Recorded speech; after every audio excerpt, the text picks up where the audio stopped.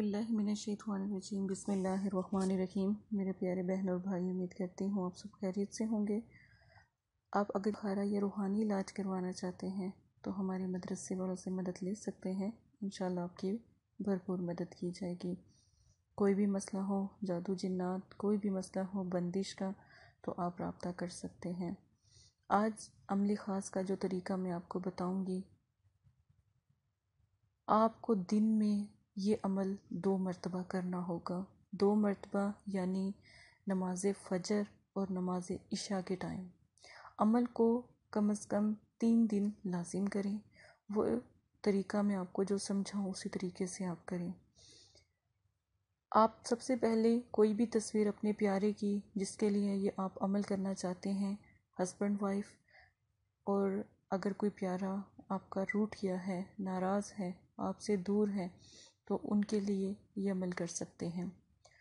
अमल का जो तरीका ख़ास है, सबसे पहले आप तसवुर कायम करेंगे। तसवुर थोड़ी देर आप मोबाइल में उनकी तस्वीर देख सकते हैं।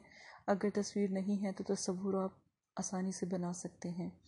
तसवुर कायम करें और तीन सौ मरतबा या वदूदू आपने पढ़ना है। अव्वल तो आखिर तीन मरतबा दरुद इब्राहिमी लाजिमा पढ़ें। नमाज़ जो नमाज़ में दरूद पाक पढ़ा जाता है ना, वो वाला दरूद पाक आपने पढ़ना है, शुरू में भी और आखिर में भी। ठीक है, ये अमल जो सा है, आप फजर के टाइम और ईशा के टाइम ही कर सकते हैं। और अल्लाह के हजूर जाकर दुआ करें, अपने प्यारे के ज़िंदगी भर साथ के लिए कि अल्लाह हमारा साथ जो है ज़िंदगी भर के लिए एक कर दें। रो कर, तड़प कर अल्लाह से दुआ मांगे इन अल्हम्दुलिल्लाह, आपका मसला हो जाएगा। और अमल में कामयाबी आपको मिल जाएगी। तीन दिन ये अमल करें, अल्हम्दुलिल्लाह तीन दिन में आपका काम हो जाएगा। और जब आपका ये काम हो जाए तो मीठी चीज़ पर कोई दुआ पढ़ के बच्चों में तकसीम करें, खुद भी खाएँ, घर वालों को तकसीम करें। छोटा सा ये अमल एक दफ़ा ज़रूर करें इन आपका मसला अलहमदिल्ला हल हो जाएगा। आप हमारे पास आ सकते हैं इस्तखारे के लिए, आप इस्तखारा करवा सकते हैं, इस्तखारा फ़ी सबील्ला है और